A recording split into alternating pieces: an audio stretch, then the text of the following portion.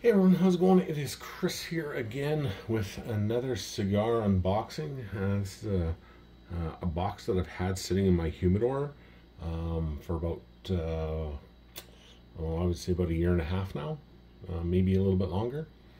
And uh, I got this box uh, out of Fort Lauderdale, Florida at a, a company called um, Neptune Cigars. So I get a lot of my cigars from Neptune Cigars because they're unbelievably amazing with their customer service, um, prices. They've always got great deals. Uh, their smoke ring program is uh, is definitely worth uh, worthwhile. Uh, you get the points add up so quickly; it's crazy. Uh, way better than any credit card um, uh, points program that you can get.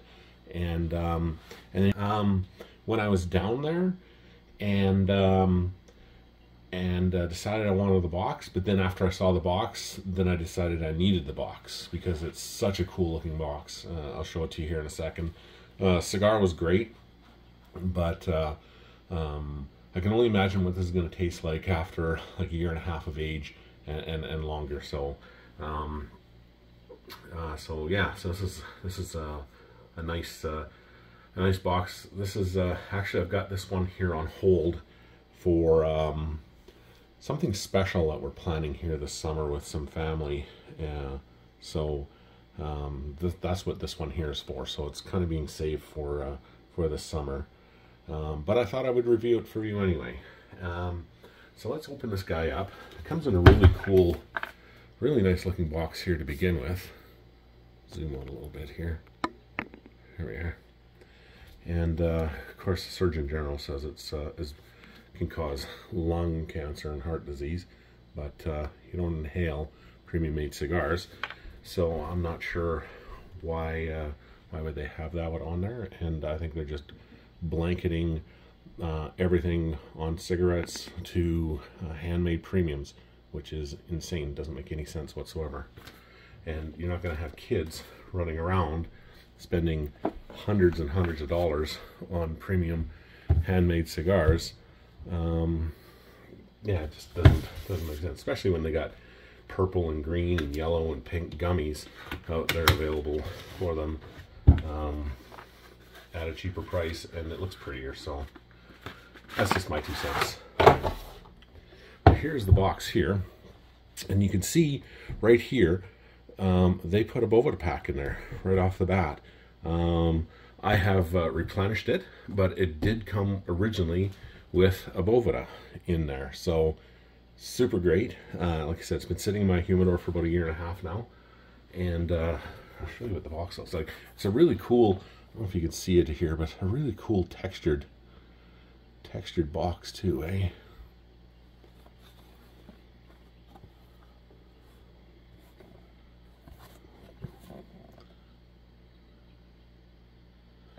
And I'm not sure what this this is. I'm not sure if that's a date thing or not, but I haven't been able to figure it out. But mind you, I haven't really been, um, I haven't uh, really looked into too much anyway either. So, um, but this is this is the cigars.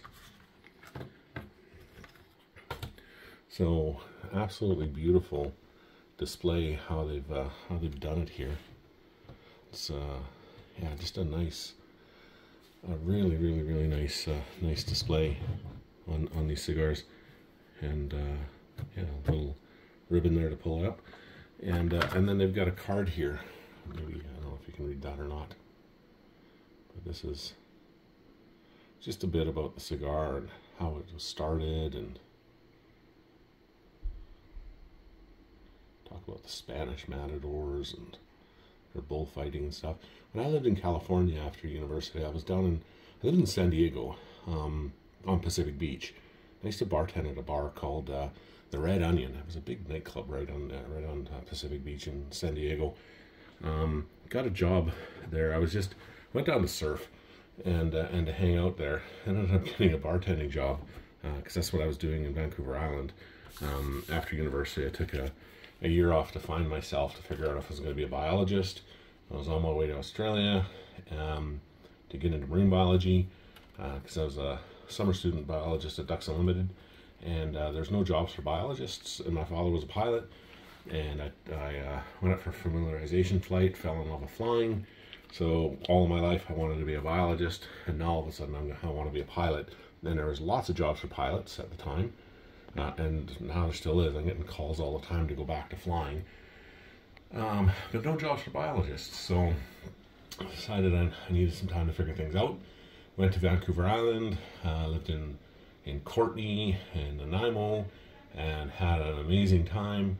As uh, I learned to surf over in uh, in Tofino, but I've been water skiing all my life. Um, um, you know, and slalom and trick skis and shoe skis and that kind of stuff, and uh, and some barefoot, and um, and then I've been downhill skiing uh, forever and doing uh, ballet and trick skiing and all that kind of stuff. So um, surfing came relatively easy to me, and uh, um, it was always something I, have always been a beach bum, so it was always something I wanted to do, and um, so yeah, so that's kind of how I uh, uh, ended up down in there, and then I went to California to to to do some surfing, and uh, ended up staying down there, and it was really really cool. But yeah, it was uh, lived above this little pub called the the Rusty Pelican, and it was just a, a shit show of a little place. We all my two buddies of mine we slept on air mattresses and and all that kind of stuff. But um, yeah, it was it was it was it was a fun it was it was a pretty pretty fun life.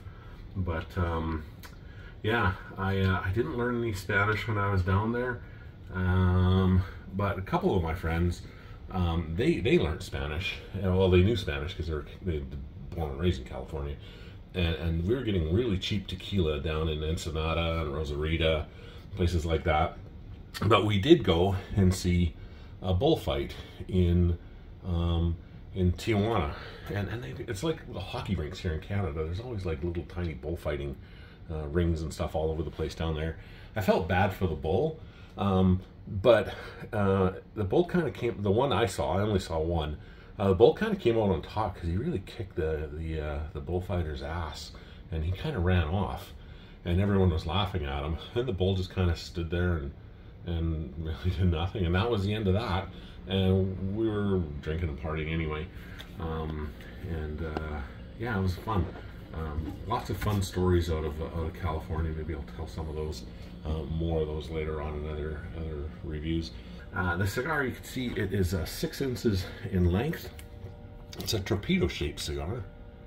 And I love, like, this is what really kind of drew me to the cigar when I when I first started looking at it. Uh, when I was in uh, Neptune Cigars there, was this whole band. Like, look at this thing. It's got like four bands to it.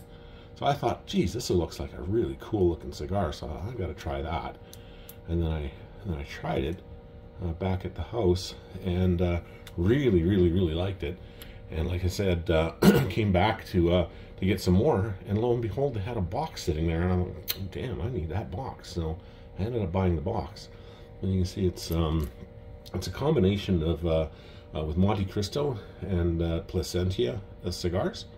So they came up with this this guy here, and it's a really, really, really nice uh, nice cigar. You can see that band here, and uh, see if I can focus there. There we go. And this band here, and then this guy here.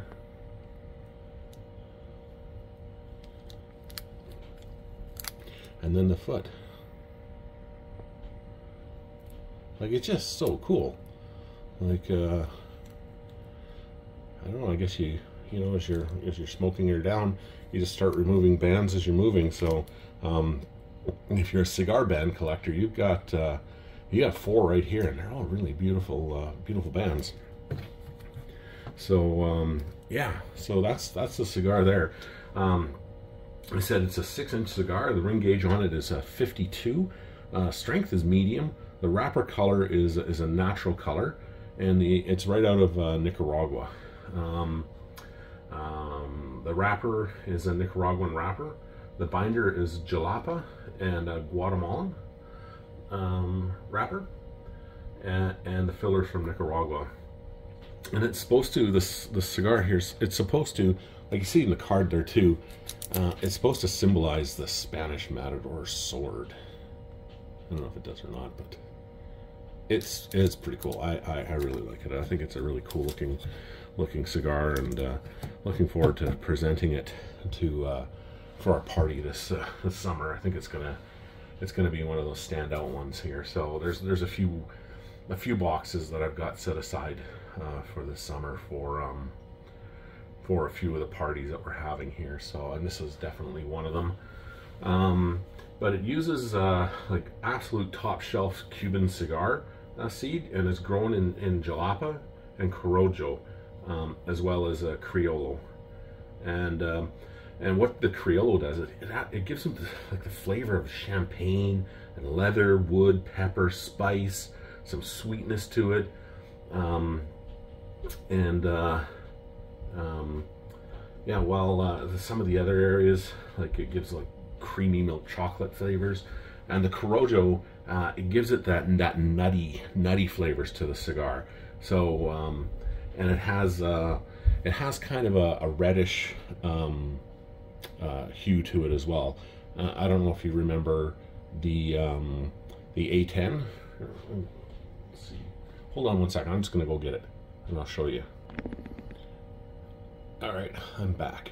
Uh, yeah, this is the, you can see this is the Maduro, and the lighter here is the Corojo, but you can see it's kind of got a redder, a reddish tinge to it. And that's what, uh, that's what the, um, uh, this does here, um, to it. So it's, um, uh, yeah, so that, that that's kind of a, a reddish tinge type of, uh, uh, type of cigar. Um, but like I said, it gives like flavors of like champagne, leather, a bit of wood, pepper, spice, um, and uh, uh, sorry, that that's the Criollo. Never mind. You hear that?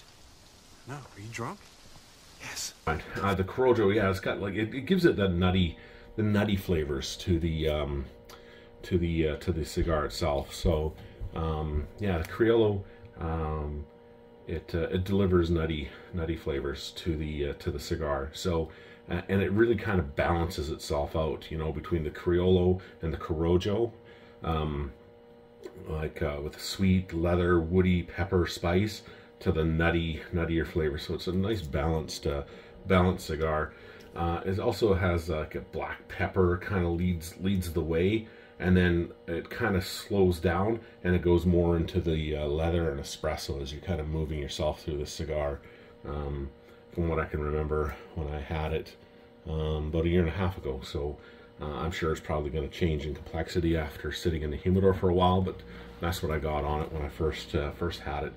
And uh, yeah, it's a 2002 uh, vintage, and um, it uh, it got 91 points on Cigar Aficionado, so it's a it's a really nice cigar. Uh, easy to smoke, easy to enjoy, um, and looks really really really great. So um, yeah, so that is the the uh, Monte Cristo um, Espadja Estoque Espade Espad Espade Estoque. Anyway, that's uh, that's your cigar there. So. Um, yeah, please like and subscribe to this channel. There's to be lots, lots, lots more stuff to come, and uh, lots of things to uh, to look at and go over. And um, and uh, like uh, we're uh, about halfway through right now at this point in filming um, for uh, for giving away a humidor full of cigars. So I think we've got about room for about nine more cigars in our humidor. Um, I'll go and get it here. I'll be right back. I'll show you what we've got so far. That is what I have in the humidor so far for you guys. So, and this is for giveaway. Uh, so yeah, so we're about, we got about room for about nine more uh, cigars that we can fit in here quite comfortably. Maybe a little bit more, but for sure at least nine more. And uh, it's going to be a really nice humidor. It's going to be worth, uh, there's going to be a lot of money in, in this, uh, in this humidor. Um, yeah, to win it, all you got to do is is like and subscribe to my channel. So like this video and subscribe to the channel, and you got a you got a good chance of winning stuff. So and and uh, a really cool humidor. So uh, thanks again. I appreciate everything, and uh, have yourself a really nice day. Take care. Bye bye.